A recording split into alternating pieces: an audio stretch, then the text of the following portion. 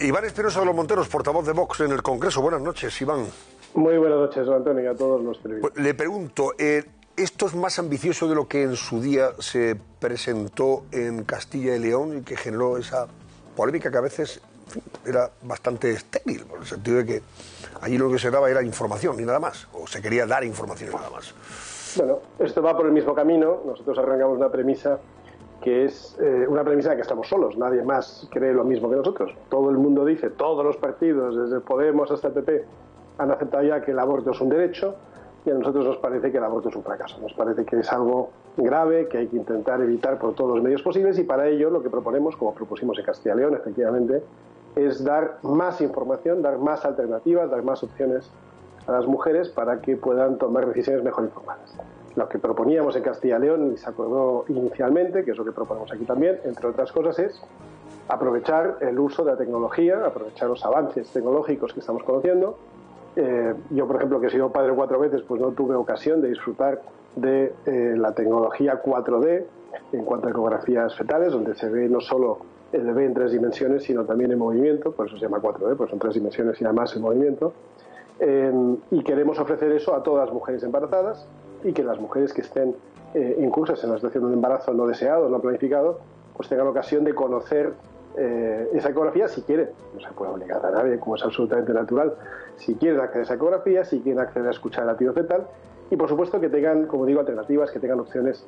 Y por tanto, lo que queremos es crear un auténtico cambio de rumbo. Un cambio de rumbo eh, en la manera de enfocar el aborto y procurar empezar a poner en práctica políticas pro vida, políticas que no se han puesto en los últimos 40 años prácticamente en ningún sitio y que pensamos que es el momento de empezar a, proponer para que las mujeres puedan elegir con más libertad, porque lamentablemente hay muchas que se ven abocadas al, aborto como única salida a un embarazo muchas veces no deseado, no planificado, y queremos, como digo, que, que se las pueda amparar y proteger y, y que puedan tomar mejores decisiones si así lo desean. Propuestas en definitiva que se le ofrecerían a las mujeres en una vez, en fin, visitan su ginecólogo, algunas pueden plantearse en ese momento, decir que yo quiero, es que quiero abortar, etcétera, que tengan la posibilidad de tener información, información seria de cuál es el proceso, cuál es la situación en la que están eh, ahora mismo viviendo y sobre todo este, el, hecho, por ejemplo, de que puedan escuchar el latido, el latido fetal de esa criatura que llevan en, en su seno, ¿verdad? Esta es lo que se va a proponer, de forma voluntaria siempre.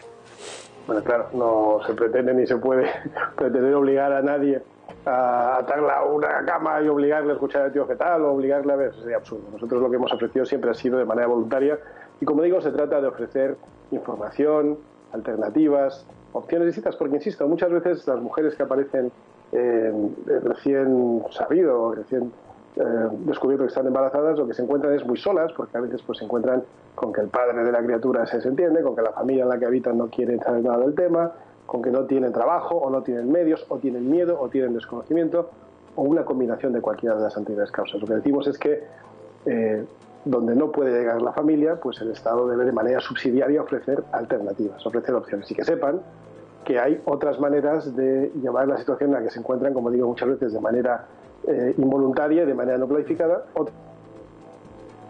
Se nos, estaba congelando, Iván, la, la, imagen. Bueno, ahora ya la hemos recuperado.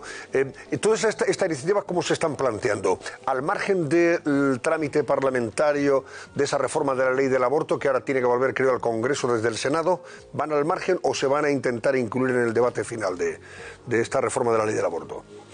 Digamos que lo estamos intentando en todos los niveles en los que estamos representados, en las comunidades autónomas, donde la sanidad, como sabe usted, está transferida y por tanto, pues en Castilla y León, un sitio donde se intentó, sin mucho éxito, porque el Partido Popular, a pesar de que primero habían decidido eh, apoyar esta medida que estaba en nuestro pacto de gobierno, después se desdijo, quizá porque, como luego ha dicho el señor Fijó, el Partido Popular ya ha aceptado que el aborto es algo absolutamente natural y que ese recurso que pusieron en el Tribunal Constitucional hace 11 años y que ahora han perdido, porque lo han perdido, les alegra. Yo no había oído nunca hablar a nadie de que se alegraba de haber perdido un recurso de un tribunal. Normalmente lo presentan los tribunales los recursos necesarios para ganarlo. Luego ya, pues a veces se ganan, a veces se pierden. Pero alegrarse de perder un recurso es una cosa que no habíamos visto nunca.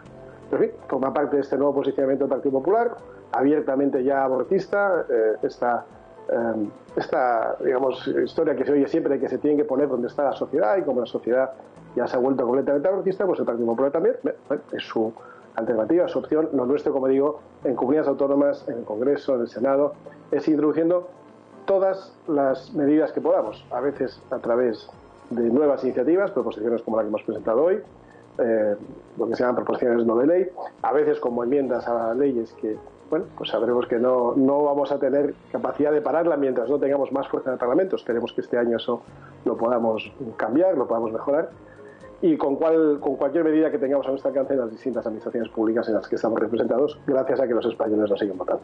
¿Vox es partidario de prohibir el aborto? Si dependiera, desde el punto de vista, eh, en fin, eh, parlamentario de su iniciativa, de su fuerza. Lo que hemos dicho ya muchas veces es que lo que tenemos que hacer es un cambio de rumbo frente a unos partidos, el Partido Socialista, el Partido Popular, por supuesto Podemos y todos separatistas, incluso partidos que hace unos años uno hubiera pensado que tenían un componente un poco distinto, como el PNV, ¿no? Pero frente a todos estos partidos que están en el consenso absoluto de que el aborto es un derecho, nosotros lo que queremos es un cambio de rumbo y empezar a ofrecer alternativas a las mujeres. No se puede hablar de encarcelar a las mujeres, ni de penalizarlas, ni de meterlas en Código Penal, sería absurdo, pero sí de poner todos los medios a nuestro alcance, si estuviéramos al frente de una administración, para que las mujeres, como digo, tengan alternativas, puedan tener más información, puedan tener eh, acceso a distintas opciones y que no vayan siempre por el camino del aborto y podamos reducir esa cifra dramática de más, 90, más de 90.000 mm, vidas al año que se pierden eh, como consecuencia del aborto. Como decimos siempre, creemos en la defensa de la vida, desde su concepción hasta su extinción natural, y eso incluye todo, desde que, como digo, desde que se produce el embarazo hasta, por supuesto, eh, derogar la ley de eutanasia, que también hemos dicho que la derogaremos si estamos en posición de ellos y los españoles nos votan con suficiente, suficiente fuerza. De la reforma que se está tramitando en el Parlamento en estos momentos, de la ley del aborto, ¿qué van a recurrir eh, ante el Tribunal Constitucional en Vox? El hecho de que una niña pueda abortar sin el permiso paterno, sin necesidad de consultar a sus padres absolutamente nada, ¿eso o alguna cosa más? Claro, eso es lo principal. Eso, fíjese que es una cosa que hasta la señora Ayuso ha dicho que le parece muy bien, lo de que las niñas puedan abortar con 16 años sin consentimiento paterno. A nosotros nos parece una barbaridad. Yo soy padre y cada vez que un hijo mío tiene que hacer un viaje, vamos, una excursión a un museo, pues me tienen que pedir permiso. Pero en cambio, para abortar parece que con 16 años hace falta pedir permiso. Ayer me contaba otro padre que le había llamado a la policía porque su hija iba de pasajera en un taxi, iba sin cinturón, le pararon y como era menor llamaron al padre para que viniera a recogerla. O sea que si uno no lleva cinturón de seguridad, la tiene que venir a buscar a su padre, pero si una quiere ir a abortar no hace falta que el padre sepa nada. No tiene ningún sentido, desde luego que eso lo recurriremos como hemos recurrido tantas cosas más en el Tribunal Constitucional. Otra cosa es que tal y como está configurado el Tribunal Constitucional por esa aquiescencia entre el Partido Popular y el Partido Socialista, pues ya cada vez es más difícil ganar nada, porque ya es un tribunal que lamentablemente está muy politizado y va a ser muy difícil. Pero nosotros desde luego lo vamos a intentar. Ignacio Santamaría quiere preguntarle. Sí, yo le quería preguntar. Buenas noches, señor Espinosa de los Monteros. Por lo que le he oído explicar ahora en estos minutos, eh, estaría muy en línea con lo que fue el anteproyecto de ley de Gallardón en su día, cuando el PP tenía mayoría absoluta y lo podía haber aprobado y, se sofocó desde, desde la presidencia.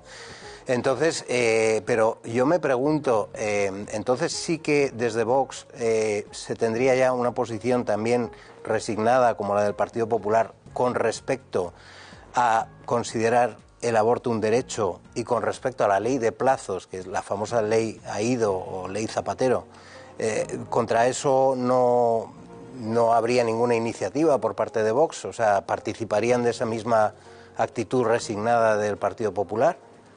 Me, choca mucho que se pueda eh, decir que Vox participa de ninguna actitud resignada cuando estoy diciendo justamente que somos el único partido de toda España, desde la izquierda hasta la derecha, regionalista, nacionalista, centralista, federalista, de centro izquierda, de centro derecha, de arriba de abajo, que estamos proponiendo un cambio de rumbo justamente para acabar con el aborto. Insisto, en que llevamos 40 años de políticas en un mismo sentido, lo que tenemos que empezar a hacer es cambiar el sentido de las políticas para ir exactamente en sentido contrario. Por tanto, eh, siempre habrá alguno que le parecerá que es insuficiente lo que hacemos y para eso no hará falta nunca buscar demasiado lejos, siempre lo vamos a encontrar en nuestro entorno, gente que siempre le parece insuficiente lo que hacemos y entonces lo que hace es no, pero yo, partido que lo hace porque puede pasar. El gran cambio de rumbo en esta historia vino eh, cuando se consideró que el aborto no solo debía ser despenalizado, que era algo que ya era una realidad desde el año 85, sino cuando se consideró que el aborto era un derecho. Esta es la gran falacia sobre la que se instala todo y la izquierda va a ir a más, porque eso ya se está viendo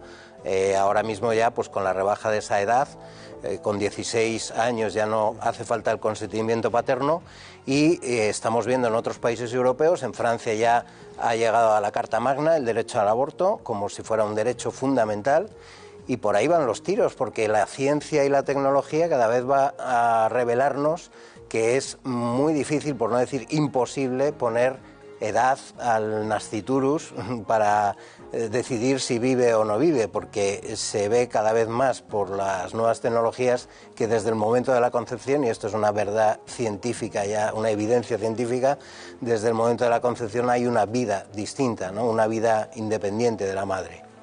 Entonces me sorprende que no vayan como más a la raíz del asunto, ¿no?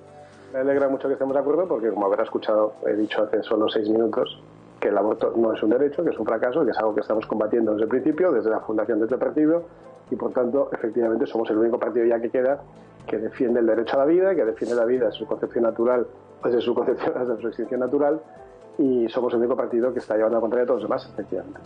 Bueno, Iván, voy a aprovechar para preguntarle, eh, al margen de este asunto, ya que estamos en, en línea, y nunca mejor dicho, le tengo que preguntar por esa moción de censura. ¿Qué pasa? ¿La impulsa Vox al final, la moción de censura contra Sánchez? Desde luego, porque como tengamos que estar a que la impulse el PP, nos podemos quedar sentados. La va a impulsar Vox, eso sin ninguna duda, porque creemos que hay motivos más que suficientes. Ya lo sabía cuando se presentó hace dos años y no nos apoyó nadie. Fíjese usted, si nos hubieran apoyado, el dolor, el daño que hubiéramos podido evitar en estos últimos dos años. ¿no? Pero estamos a tiempo, estamos a tiempo todavía de que esta legislatura no se agote, de que eh, presentando un candidato que esté dispuesto a disolver las Cortes y convocar elecciones cuanto antes, eh, acortemos la agonía de una legislatura que nunca se vio producir, que siempre hemos dicho que es ilegítima, no ilegal, ya entendemos que no es ilegal, pero es ilegítima en tanto en cuanto se ha producido solo cuando el Partido Socialista ha hecho, exactamente aquello que dijo que jamás haría. No solo Pedro Sánchez, todo el Partido Socialista, porque todo el Partido Socialista se apoya en Podemos. Todo el Partido Socialista, no solo en el Congreso, sino en el conjunto de España. Esto es muy importante que lo recordemos de cara a municipales y autonómicas, porque cada candidato socialista en cada pueblo y región de España es un candidato apoyado por Podemos, por Bildu, por RC y en definitiva por todos los enemigos de España. Por lo tanto, como digo, no solo un gobierno legítimo, sino un gobierno que está marchando a lo que quede de aquel llamado Partido Socialista. Por lo tanto, sí, vamos a liderar esa moción de censura, ya que nadie nos lo hace y esperamos que nos apoyen los más partidos. ¿Y hay fecha, Iván, para presentarla o no? ¿Fecha? ¿Tienen ya fecha? En los, próximos días sabremos, eh, ¿Y, tendremos ¿Y candidato? ¿Sigue siendo Ramón Tamames el candidato o tienen por ahí algún otro?